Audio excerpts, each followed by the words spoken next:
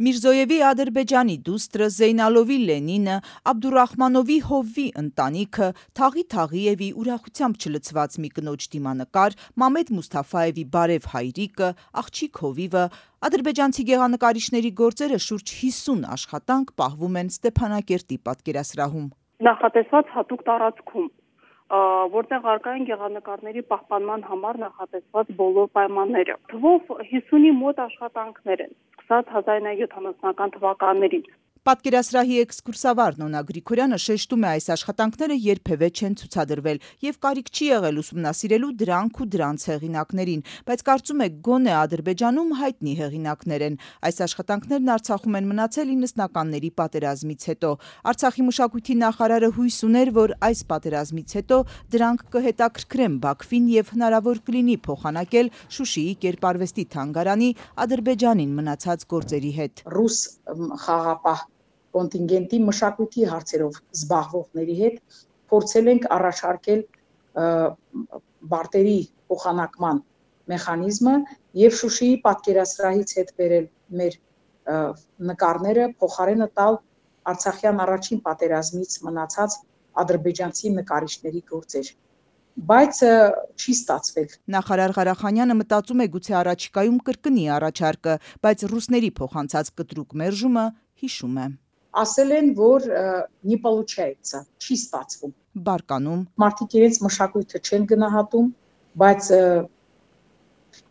շատ պրոֆեսիոնալ են այլ մարդկանց մշակույթը թալանելու եւ կողոպտելու մեջ։ Գիծը դարձել է վարսոական գեղանկարչության գլխավոր արտահայտչական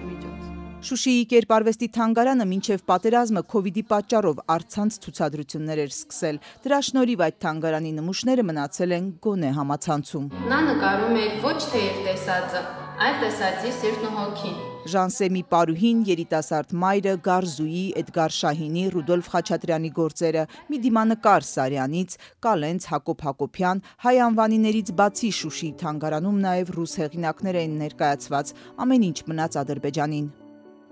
Թանգարանի հավաքածուն թվով 673 ցուցանմուշ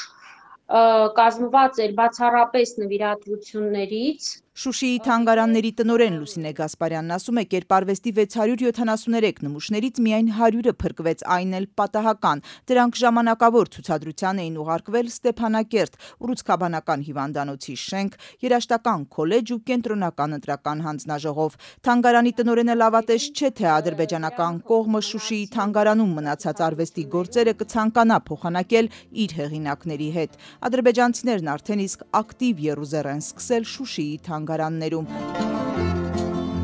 Պատերազմի ժամանակ կերպարվեստի թանգարանի կտավները հավաքելու նկուղ էին իջեցրել։ Տնորենն ասում է, թանգարանն ապահով ռմբապաստարան ուներ, ոչինչ չտարհանվեց, որովհետև ով կմտածեր, որ Շուշին հաշված օրերի ընթացքում ադրբեջանական է դառնալու։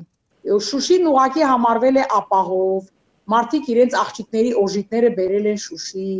Շուշին համարվել է անառիկ։ Կերպարվեստի թանգարան մի քանի տարի առաջ Երևանից ժամանակավոր ցուցադրության էին տեղափոխվել Գյուրջանի 3 քանդակները՝ հաղթանակը, տանգոն ու կնոջ դիմանկարը։ Շուշիի անկումից առաջ Հայաստանի մշակութային գերատեսչությունը հանեց դրանք թանգարանից, իսկ Շուշիի մշակութային պատմական ժառանգությունը հիմնականում մնաց տեղում Բերթաքաղաքի անառիկության վստահությամբ։ Սխալ են կարել, շատ վատ են կարել։ Պատասխանատու ենք Այս պատերազմում Ադրբեջանին մնաց 20385 թանգարանային նմուշ, 2000 հուշարձան, 122 եկեղեցի, 13 վանական համալիր, 536 խաչքարեր։ Այս թվերի հետ քնում արթնանում եմ, ասում է Լուսինե Ղարախանյանը։ Գիտեք, ինչ ծանր է։ Ես այդ ոնց որ դժողքի հատակից խոսում եմ ձեզ հետ։